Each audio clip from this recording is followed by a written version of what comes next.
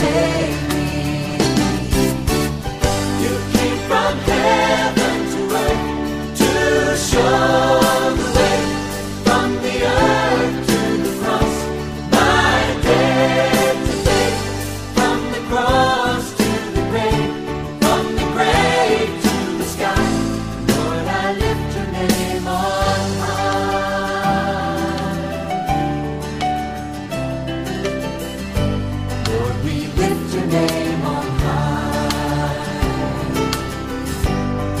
we love to sing your praises.